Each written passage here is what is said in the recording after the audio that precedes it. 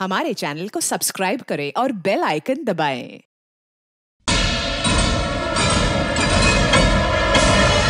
अरे तो क्या कर रहा है? पागल? गोली मार रहा हूँ। और क्या? ऐसा मत करो सामने मेरी बात सुनो। रुको रुक जाओ वहीं पर नहीं तो मार लूँगा। अब तुम्हें ख्याल आया अब तुम कह रहे मेरी बात सुनो। देखो देखो सामने कि हम दोनों के बीच में थोड़े बहुत डिफरेंसेस हो सकते हैं यार। डिफरेंसेस नहीं तुमने मुझे बर्बाद कर दिया है। सर कोई दूसरा रास्ता ढूंढ सकते हैं हम लोग। हाँ नहीं अब कोई रास्ता नहीं। तुम लोग अपनी आँखों से देख लो इसका अंजाम। नहीं नहीं समझे नहीं। Sir. No no no Daya. Sir sir इसी साहब से गलती हो सकती है। नहीं एसीपी तो भगवान है। पर गलती हो जाती है सर कभी कभी नो रुक जाओ। वहीं पर। रुक जाओ दया वहीं रुक जाओ। अरे क्या कर लिया? बेवकूफ़ अपने आप को गोली मार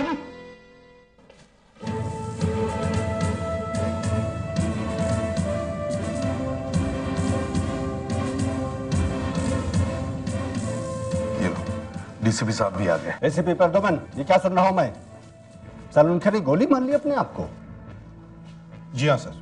तुमने उसे रोकने की कोशिश नहीं की? सर हम सबने उसे समझाने की बहुत कोशिश की मगर वो माना ही नहीं। मगर तुम वहाँ पहुँचे कैसे? उसने हमें फ़ोन किया था। फ़ोन किया था? यस इसका मतलब है कि उसने तुम्हें फ़ोन करके बताया कि वो अपने आप को गोली मारने वाला है। जी हाँ। तो जब तक तुम वहाँ पहुँचे तब तक उसने गोली नहीं मारी। नहीं सर। मुझे लगता है वो जानबूझकर गोली मेरे सामने ही मारना चाहता था। क्योंकि तुमने ये बात यहाँ तक पहुंचाई है। तुमने ही कहा था कि एक और एक्सपर्ट चाहिए। सर प्लीज़ प्लीज़ ऐसा मत कहिए कि ये सब मेरी वजह से हुआ है। मैंने तो पहले एसीपी साहब से कहा था कि मैं सालों के साहब की जगह पर काम नहीं करना चाहती। मैं सिर्फ़ इस केस की बात कर रहा था शांति देवी मर्डर केस की। सर हमें इस केस में एक और ओपिनियन की ज़रूरत थी।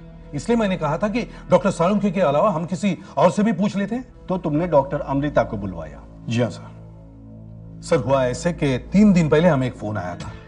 तीस लक्ष्मी सागर सोसाइटी में कुछ गड़बड़ हो गई है। हम लोग वहाँ पहुँचे।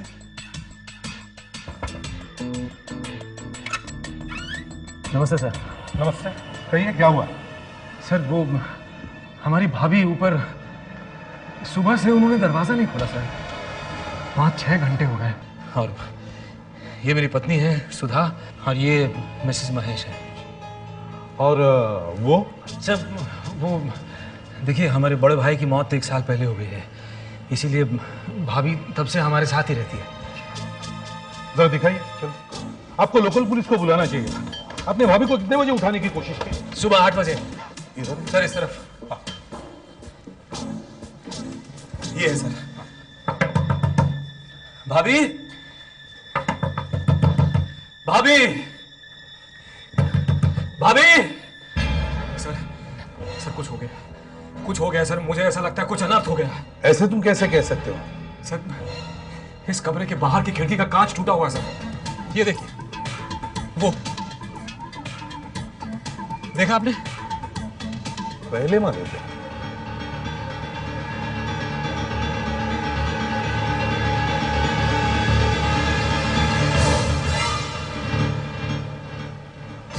सब लगता है कुछ हो गया भाभी को? क्यों मुँह से बुरी बातें निकाल रहे हो? तुम देख रहे हो ना? कांच टूटा हुआ है। दया सर। जरा देखो तो। चल के देख सकते हो क्या ऊपर? देखते हैं मामला क्या है। घर में कोई स्टूल वगैरह है क्या? जी मैं लेकर आती हूँ। सर यहाँ पे पाइप है। यहाँ से चढ़ सकते हैं। हाँ देखो जरा। संभल के जाना। संभाल के दे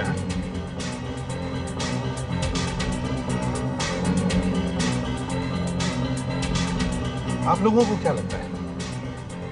समझ में नहीं आ रहा कि वो कांच टूटा कैसे और और भाभी दरवाज़ा क्यों नहीं खोल रही है? वैसे तो वो हमेशा नीचे आ जाती थी ब्रेकफास्ट के लिए। हाँ। हाँ, शायद ही कभी ऐसे हुआ हो कि हमें ऊपर जाना पड़ा उनको बुलाने के लिए। सुंदर लाश है।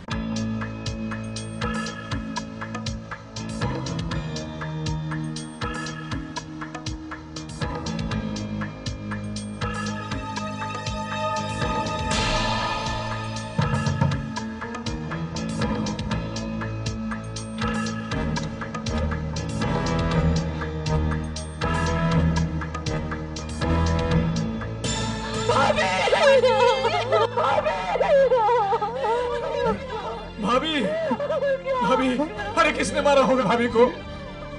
भाभी। काफ़ी सामान बिखरा पड़ा है चोरी बोरी तो नहीं हुई? जरा देखो कुछ सामान चोरी गया क्या? भाभी के पास जेवर बहुत थे। शायद वो गए होंगे। अगर देखो तो सही। पता नहीं पता नहीं भाभी से वो रखती कहाँ थी। अभिजीत इनके साथ इस कमरे का कोना कोना छान मारो। एक एक चीज़ की लिस्ट बनाओ। यस सर और आप लोग जरा हो जाइए।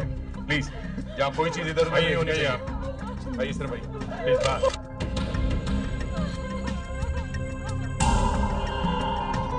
सुधाकर सर जरा मैग्नीफाइंग ग्लास देना था। ये लीजिए सर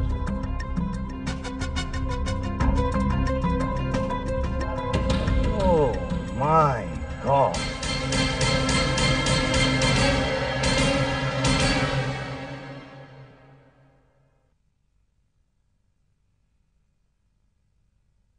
इतना बड़ा कांच किसी ने तोड़ा है? और आप लोगों को आवाज़ नहीं आई? सर रात को गहरी नींद में कहाँ पता चलता है कि क्या हो गया है? आप लोग सोते कहाँ हैं? वहाँ पे। दिखाई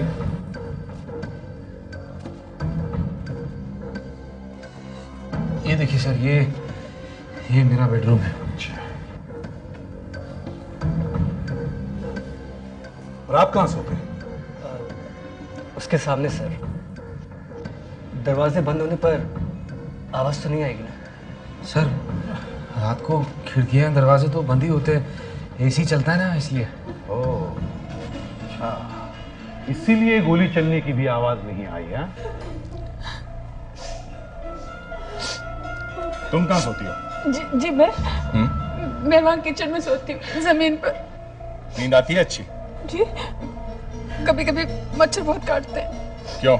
एसी नहीं है? नहीं है। तुम्हें भी आवाज़ नहीं आई गोली चलने की? जी नहीं। बड़ी गहरी नींद सोते हैं आप लोग हाँ? आपने आखिरी बार उन्हें कब ज़िंदा देखा था?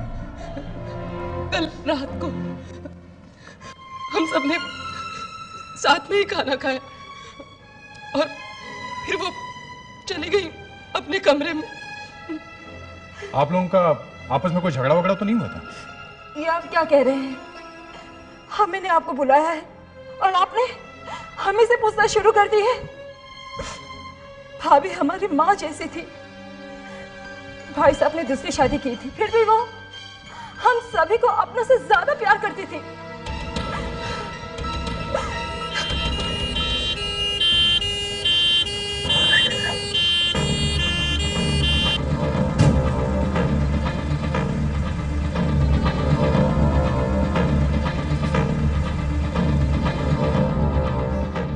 अरे महेश कैसे हो भाई मालूम है सर भाभी चली गई। वहाँ ऊपर जाओ। एनीवे ऊपर लेफ़्ट संभालो संभालो अपने आप को हाँ? टेक केयर लास्ट देखी आपने? हाँ। तुम्हें मालूम ही नहीं पड़ा? क्या करें? ये मेरे साथ मेडिकल कॉलेज में था। बाद में बिज़नेस में चला गया। सालू ये मामला इतना सीधा नहीं है जितना दिख रहा है। अच्छा? आओ सालूम के। ओह माय गॉड हुआ कभी कल रात को। गॉड अभी तो बेचारी भाई साहब की मौत के सदमे से बाहर भी नहीं निकल पाई थी। ये क्या हो गया?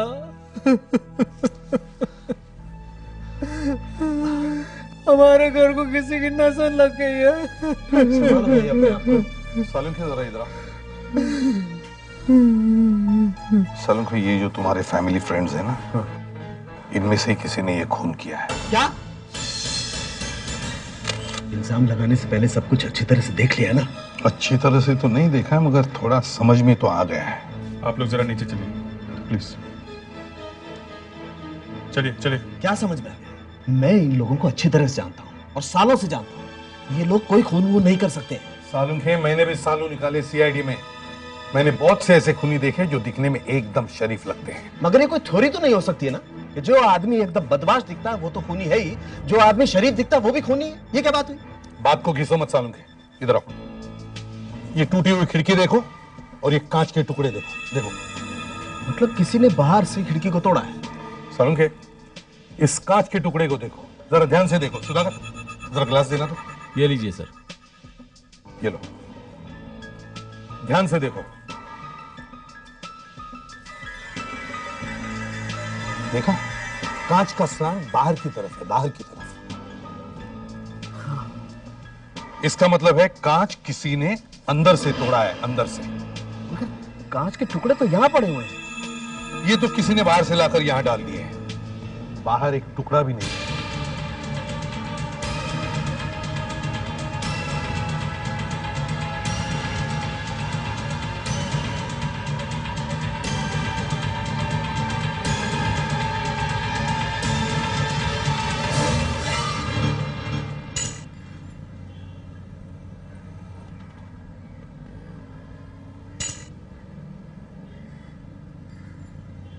है कांच के बहुत सारे छोटे छोटे टुकड़े हैं सर। गुड वेरी गुड देखा सानू के कांच के टुकड़े वहाँ पर भी हैं। इसका मतलब है किसी ने काफ़ी सोच साच के काम किया है।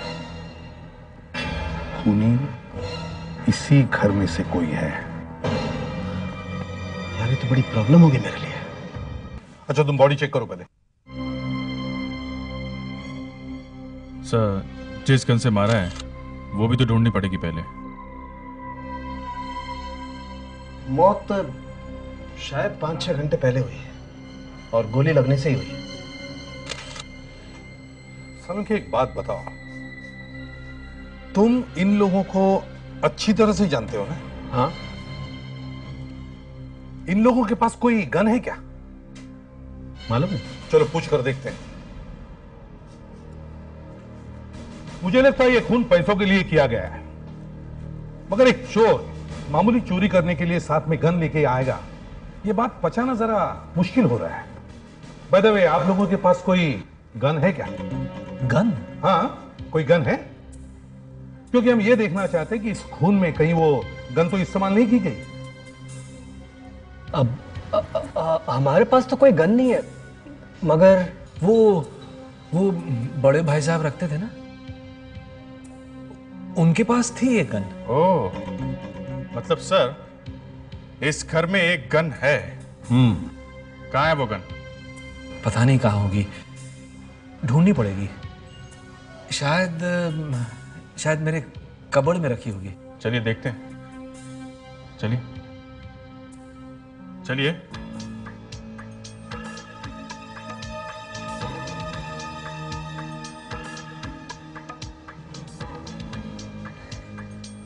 अब याद करना पड़ेगा कि कहाँ रखी होगी गन मैंने तो सालों पहले देखा था।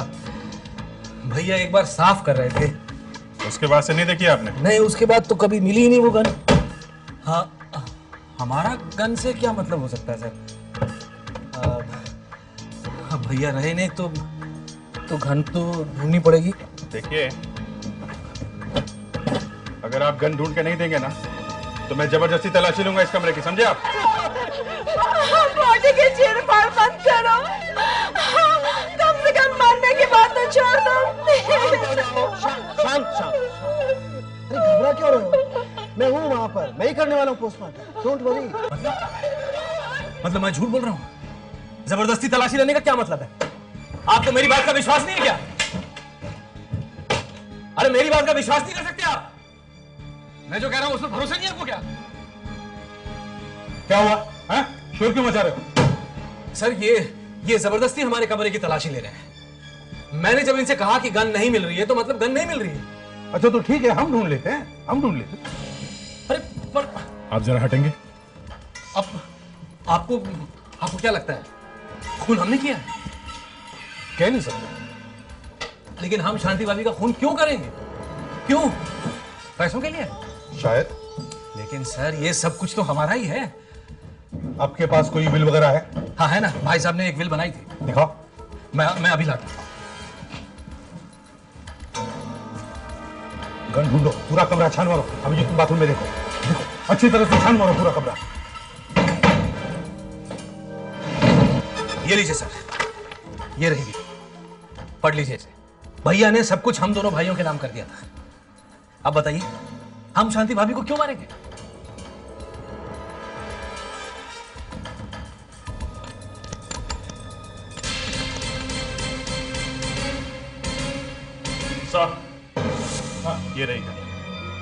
वॉश बेसिन के नीचे अच्छी तरह से छुपा के रखी गई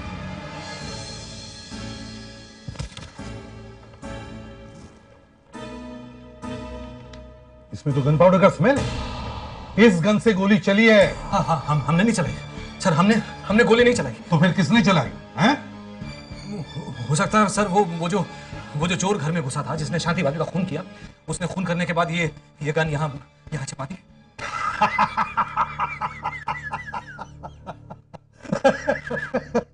ऐसा मज़ाक तो मैंने अपनी ज़िंदगी में पहली बार सुना है। चोर ने चोरी की, शांति भाभी का खून किया और फिर गन बेडरूम में लाके छुपा दी, हैं? देखो अब भी वक्त है।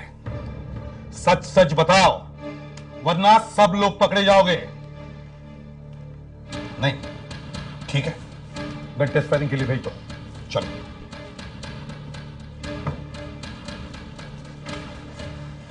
सालू के अरे सालों के ये ये आदमी पता नहीं हमारे पीछे क्यों पड़ गया है। इस मुसीबत के समय में तुम ही हमारी मदद कर सकते हो। अरे भाई साहब ने पता नहीं क्यों ये गन बाथरूम में छिपा कर रखी थी। देखो सुरेश। बेकार में ये लोग हम पर शक कर रहे हैं। पता नहीं क्या होगा। देखो सुरेश मुझसे जितना हो सकेगा मैं तुम्हारी मदद करूँगा। प्लीज़ ये लो डॉक्टर सावंत संभालो ये गन। हमने हमारा काम कर दिया तुम्हें गन ढूंढ के दे दी है आपने सुना ना वो लोग क्या कह रहे थे? किसी चोर ने ये गन चुरा के शांति भाभी को मारा है। हो सकता है किसी चोर ने ये किया हो। जब तक कुछ साबित नहीं हो जाता तब तक तो हम कह ही सकते हैं ना कि शायद किसी चोर ने ही खून किया होगा। तो साबित करो ना। इस गन में से एक गोली फायर करो फिर शांति देवी के शरीर में से मिली गोली के साथ इसे मिलाओ। अगर मैच हो गई तो बस काम खत्म। सॉरी सर मैं ये दोनों गोलियाँ मैच नहीं कर सकता। क्यों? क्योंकि शांति देवी की मौत जिस गोली से हुई है वो गोली मिल नहीं रही है। गोली मिल नहीं रही है? जी। क्यों? मौत तो गोली लगने से ही हुई है ना? जी हाँ मौत गोली लगने से ही हुई है। छाती पर गोली लगने का घाव भी वहाँ पर गन पाउडर भी लगा हुआ है। तो गोली शरीर के पीछे से निकल गई होगी ना? जी नहीं। गोली शरीर के पीछे से भी नहीं निकली। नो एग्जिट वुंड मतलब गोली शरीर के अंदर घुसी और बाहर नहीं निकली है? जी। तो फिर गोली शरीर के अंदर ही होनी चाहिए ना? मगर सर गोली शरीर के अंदर नहीं है। आइए। देखो, मैं दिखाता हूँ आपको। आइए। ये देखिए, ये एक्सरे देखिए। यहाँ पर कहीं भी गोली नहीं है।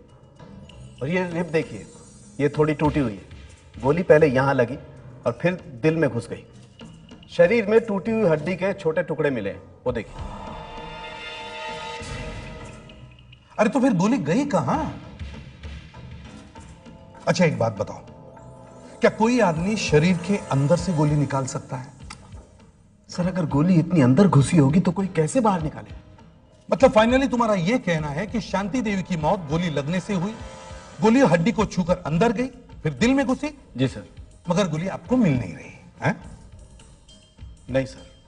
सालुंखे मैं तुम्हारे सामने आखिरी बार हाथ जोड़ता हूँ। मुझे सिर्फ़ इतना बता दे कि वो गोली कहाँ है मैं चुपचाप यहाँ से चला जाऊँगा। सर मुझे नहीं मालूम कि गोली कहाँ है। इसका मतलब साफ़ है कि अगर गोली नहीं मिलती तो शांति देवी के घर वाले साफ़ बच जाएँगे। ना मिलेगा बास ना बजेगी बांसुरी है? यस सर डॉक्टर साहब आप आप इस तरह की गोल गोल बातें करेंगे तो कैसे काम चलेगा? अच्छा तो अब तुम भी बोलने लगे। अगर तुम इतने होशियार हो तो तुम बता दो गोली कहाँ है। मैं होशियार नहीं हूँ। मैं एक गधा हूँ। फिर भी मैं बताता हूँ कि गोली कहाँ है। कहाँ है? गोली तुम्हारे पास है। गोली तुमने शांति देवी के शरीर में से निकाल ली है। ये क्या बकवास है? ये बकवास नहीं है। तुम्हारा उस फैमिली के साथ पुराना रिश्ता है। तुम नहीं चाहते कि इस खून के इल्ज़ाम में वो लोग पकड़े जाए। एसीपी साहब मैं अपने प्रोफेशन के साथ कभी धोखा नहीं कर सकता। तो फिर बताओ गोली कहाँ है? देखा? चोच बंद। कभी कभी आँखों के सामने रिश्तों का पर्दा पड़ जाता है। ठीक से दिखाई देना बंद हो जाता है। मैं तुम्हें कल सुबह तक का वक्त देता हूँ। मुझे जवाब चाहिए कि वो गोली कहाँ है। सर। अरे अमृता तुम? व्हाट ए प्लेजेंट सरप्राइज़ इतने दिनों के बाद अचानक कैसे चली आई? एनीवे anyway, कैसी हो तुम? मैं ठीक हूँ सर। लेकिन आप कैसे हैं? मैं मैं ठीक ठाक हूँ। मुझे लगा कि आप बीमार हैं। मैं बीमार? कौन फैला रहा है झूठी खबरें? सर मुझे हेडक्वार्टर से कहा गया है कि शांति देवी मर्डर केस में मैं पोस्टमार्टम फिर से करूँ। तुम करोगी postmortem I am sorry sir मुझे पता नहीं था कि आप ड्यूटी पे हैं। नहीं तो मैं नहीं आती sir no no it's okay तुम्हारा कोई कसूर नहीं है। ये सब उस एसीपी ने किया है। जब तक ये पता नहीं चलता कि वो गोली कहाँ गई तब तक मैं यही समझूँगा कि गोली के गायब होने में सालुंखे का ही हाथ है। सर, ये भी तो हो सकता है कि शरीर में जब गोली घुसी तो रिप से टकराकर गोली वापस उसी रास्ते से निकल गई जिस रास्ते से घुसी थी। ये तो कहानी में नया ही मोड़ आ गया थोड़ा सा पागलपन लगता है मगर हो सकता है। ये होता तो कमरे में कहीं से तो वो गोली मिलनी चाहिए थी। क्यों नहीं मिली? एसीपी साहब। एसीपी साहब। एक लड़की मेरे ऑफ़िस में आती है और मुझसे कहती है कि शांति देवी मर्डर केस पर काम करने के लिए उसे भेजा गया। और अब डॉक्टर सालुंखे उस फॉरेंसिक लैब में बैठकर मक्खियाँ मारेगा। अभिजीत आप एसीपी साहब से प्लीज़ कह दीजिए कि यह फॉरेंसिक लैब में किसी और को बुलवा ले। अगर मुझे पता होता कि मुझे सालों के साहब के ही केस में भेजा गया तो मैं यहाँ कभी नहीं आती। देखिए डॉक्टर सालुंखे एसीपी साहब के अच्छे दोस्त हैं। मगर दोस्ती अपनी जगह है और काम अपनी जगह है। उन दोनों की बात अलग है। अच्छा आपने शांति देवी की बॉडी फिर से चेक की? जी। बॉडी में कोई गोली है? जी नहीं। मैंने पूरी बॉडी के एक्सरेस लिए हैं। पर कहीं भी वो गोली नहीं मिली है। एक आम आदमी किसी डेड बॉडी में से आसानी से गोली निकाल सकता है? जी नहीं। ये काम सिर्फ़ एक एक्सपर्ट ही कर सकता है। मतलब जिसने बॉडी को खोला हो। जी। सिर्फ़ वही ऐसा कर सकता है। जैसे डॉक्टर सालुंखे हाँ? जी। डीसीपी साहब आ गए। एसएपी प्रद्युमन सर आप एक मर्डर केस का इन्वेस्टिगेशन कर रहे हैं? जी सर कौन सा केस है वो? Shanti Devi murder case sir गोली मारकर हत्या की गई है। वो गोली का मामला क्या है? सर जिस गोली से खून हुआ है वो गोली मिल नहीं रही है। ऐसा तो बहुत बार हुआ है कि गोली हमें नहीं मिली है। सर इस डेड बॉडी में गोली अंदर जाने का निशान है मगर बाहर आने का नहीं। तो गोली शरीर के अंदर ही होनी चाहिए। मगर वहाँ है ही नहीं। तो वो गोली कहाँ गई? गोली डॉक्टर साळुंखे ने निकाल ली है सर। पर डॉक्टर सालुखे तो कह रहा है गोली आप लोगों के पास है।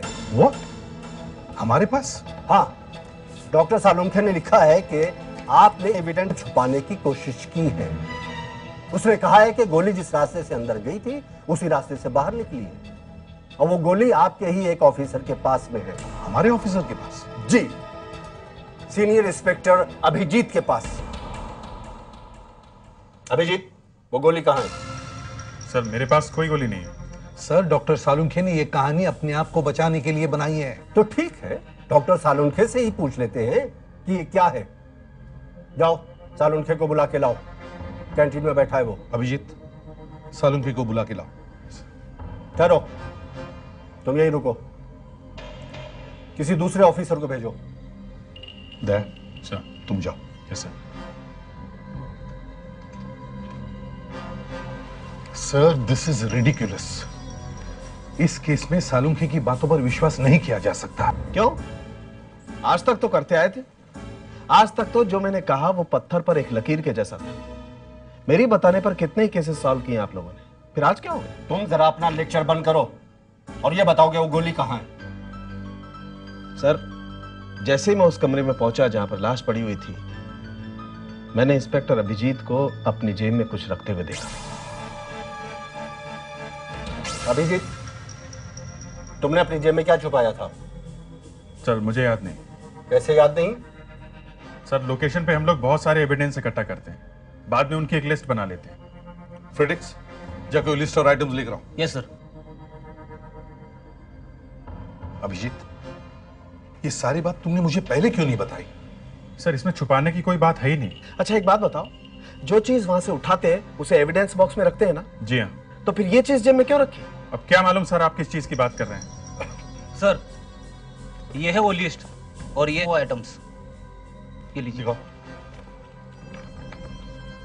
हम्म, अभिजीत देखो ये कौन सी चीज़ थी। सर याद नहीं आ रहा है। वाह। एक चोर पाँच साल बाद भी अगर आपके सामने आ जाए तो आप लोग उसे पहचान लेते हैं। मगर यहाँ अड़तालीस घंटे पहले की चीज़ याद नहीं आ रही। सालम खेत ज़्यादा नमक मिर्च लगाने की ज़रूरत नहीं है समझे? सर याद आ गया। वो एक रिंग थी सर। एक रिंग थी। सर ये देखिए यहाँ लिखा भी है। Item number eight gold ring sir दिखाओ जरा वो रिंग है किधर? लॉक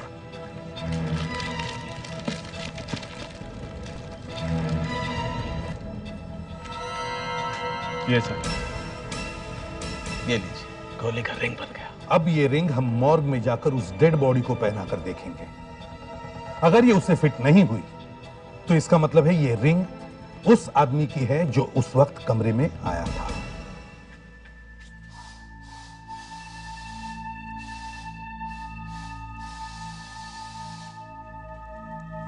आइए सर। यह है शांति जी की बॉडी। क्या हम इनका राइट हैंड देख सकते हैं? जी। देखने की हालत में है? जी अभी तक तो ठीक है लेकिन खराब होना शुरू हो गया है। चारों उंगलियों में अंगूठी है। लगता है इस हाथ से अंगूठी नहीं गिरी है। दूसरा हाथ देखें। जी हाँ प्लीज़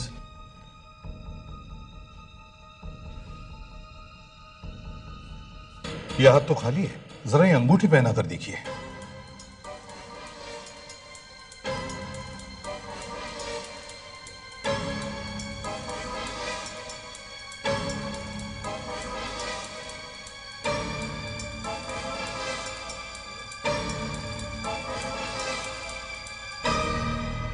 नहीं सर ये अंगूठी इनकी नहीं है। सर ये अंगूठी इनके घर वालों में से ही किसी की है।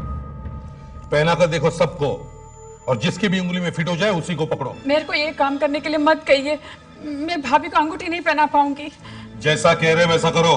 चलो। चलो यहाँ।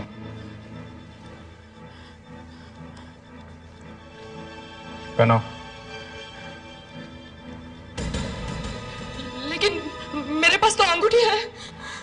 ट्राई तो कीजिए। आप प्लीज़ हमारी इंसल्ट मत कीजिए। मैं नहीं पहनूँगी अंगूठी। अरे सुधा तुम घबरा क्यों रही हो? जब तुमने कुछ किया ही नहीं है तो फिर डरना किस बात का?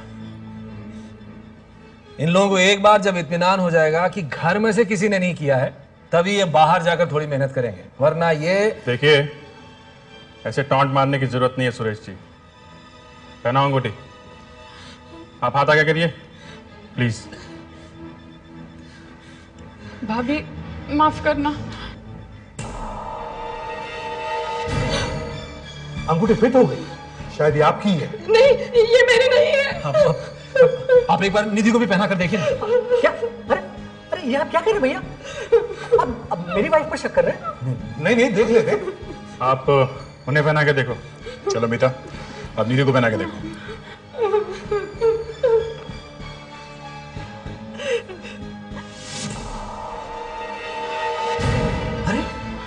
ये ये क्या निधि आप सब लोग मिलकर मुझे ही क्यों फंसा रहे निधि का हाथ में नहीं है ना। भाभी मैं मेरे हाथ में देखते हैं। निधि आप ये अंगूठी इन्हें पहनाओ नहीं मैं कल ही काम छोड़ के चली जाऊँगी। मैं गरीब औरत अरे मैंने ज़िंदगी में ऐसी अंगूठी नहीं देखी है। हाथ आगे बढ़ाओ।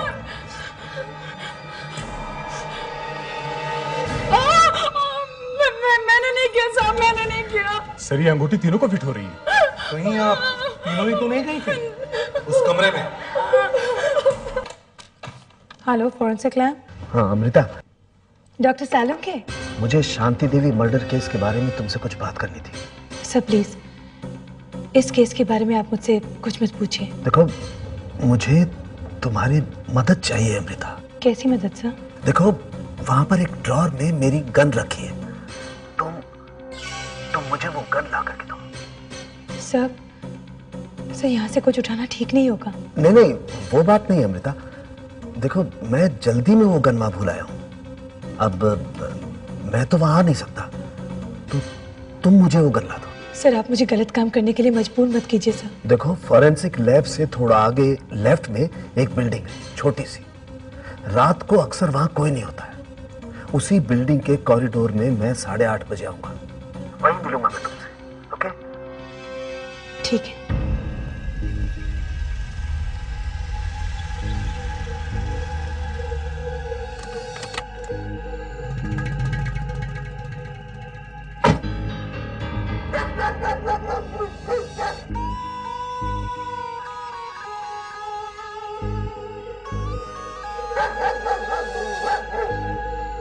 हेलो डॉक्टर सैलम के हाय अमृता सर मैं एक फॉरेंसिक डॉक्टर हूँ।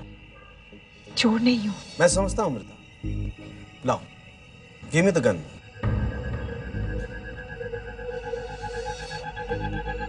sir अब मैं आपका और कुछ काम नहीं करूँगी। क्या तुम्हें मालूम है कि वो गोली कहाँ गायब हो गई? पूरी तरह से तो नहीं मालूम लेकिन थोड़ा थोड़ा समझ में आ रहा है। हेलो इसे भी प्रद्युमन या क्या? ये तुम क्या कह रहे हो? नहीं देखो ये देखो तुम ऐसा नहीं कर सकते।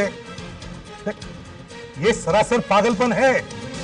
नहीं नहीं नहीं तुम मेरी बात सुनो मेरी बात। अच्छा ठीक है मैं वहाँ आता हूँ। ओके। संघी का फ़ोन था।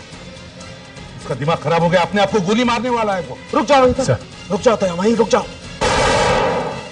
आई एम सॉरी सर मुझे उन्हें गन ला के नहीं देनी चाहिए थी। बट ही इंसिस्टेड सर हाँ तुम्हें गन नहीं देनी चाहिए थी। सर मैं बिना बात के फंस गई हूँ। इस इस झगड़े में। मुझे भी अंदाज़ा नहीं था कि मामला इस हद तक बढ़ जाएगा। जहाँ तक मैं उसे जानता हूँ वो बिना कारण कोई बात नहीं करेगा। इस गोली मारने के पीछे ज़रूर कोई राज है। सर डॉक्टर सालुंकिया भी ठीक है। गोली उन्होंने अपनी टांग में मारी थी इसलिए बच गए। बच गए ना? चलो अच्छा हुआ। नहीं तो सारा इल्ज़ाम मुझ पर आने वाला था। लेकिन सर गोली उन्होंने आपके सामने ही मारी थी ना? हाँ। हम सब लोग थे पर सर गोली शरीर से बाहर निकलने का कोई घाव नहीं है। गोली अंदर ही होगी ना? नहीं सर गोली अंदर भी नहीं है। ये कैसे हो सकता है? ये तो डॉक्टर सारुंके की आवाज़ है। वो हंस रहे हैं। अरे सालूम के हंस क्यों रहे हो? एक तो अपने आप को गोली मार ली। तुम्हें दर्द वर्द नहीं हो रहा है क्या? सर दर्द तो बहुत हो रहा है लेकिन इस वक्त दर्द से ज़्यादा खुशी हो रही है मुझे। अबे अपने आप को गोली मारने में क्या खुशी है? है बॉस है। एक तो गोली मैंने अपने आप को नहीं तुम्हें मारी है तुम्हें। मुझे कोई गोली वोली नहीं लगी। देखो मैंने अपने आप को तुम्हारे सामने गोली मारी। हाँ। फिर तुम मुझे हॉस्पिटल लेकर के आए। हाँ। फिर भी गोली गायब। है ना कमाल? अब ये मत कहना कि गोली इस डॉक्टर ने गायब कर ली। लेकिन गोली गई किधर? ये आप इनसे क्यों नहीं पूछते? इनसे? हाँ इनसे। क्योंकि मैं नहीं बताऊँगा। तो ये वही गन है जो शांति देवी के घर में से मिली थी? जी।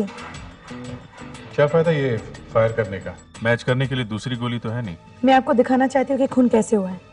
मतलब खून इसी पिस्टल से हुआ है? जी हाँ। ये देखिए ये है गोली। आइए इसे माइक्रोस्कोप में देखते हैं।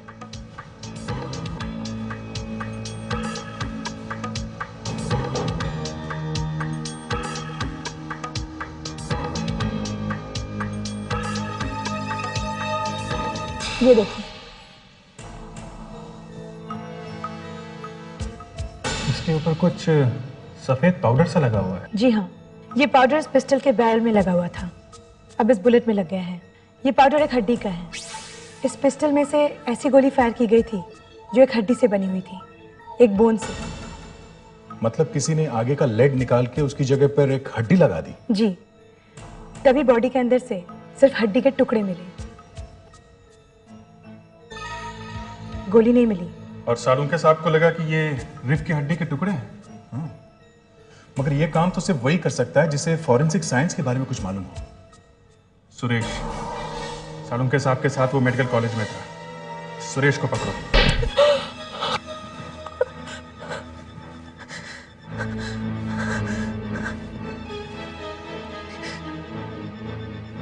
भाभी को मारने के हमने बहुत तरीके सोचे। मगर मगर कोई ठीक नहीं लगा। सोचा जहर दे दे, इलेक्ट्रिक शॉक लगा दे, पानी में डुबो दे।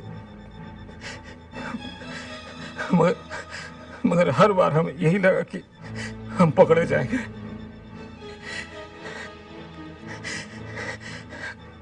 मैंने मैंने कहीं पढ़ा था ऐसी हड्डी वाली गोली के बारे में।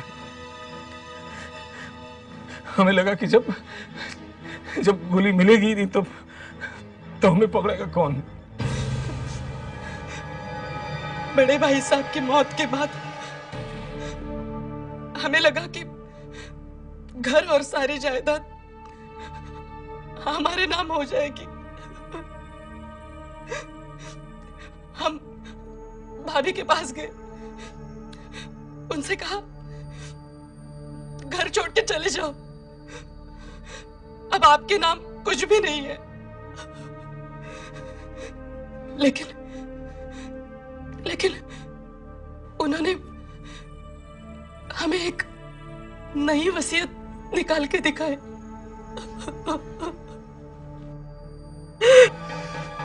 वसीयत को देखकर हम लोगों की आँखें फटी रह गई। भाई साहब ने घर और सारे पैसे भाभी का नाम कर दिए था।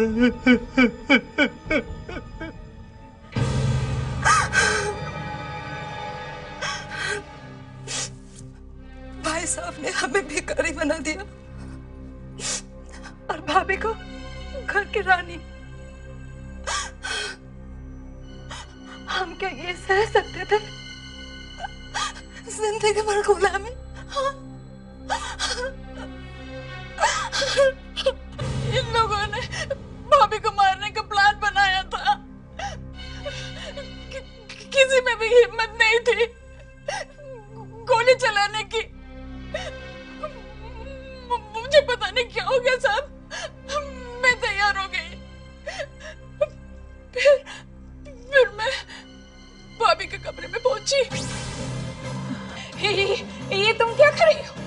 पागल तो नहीं है अरे, इसे समझाओ जरा।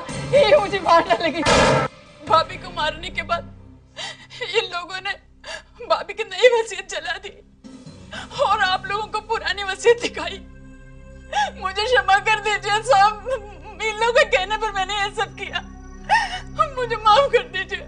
तुम लोगों को माफ़ नहीं किया जा सकता।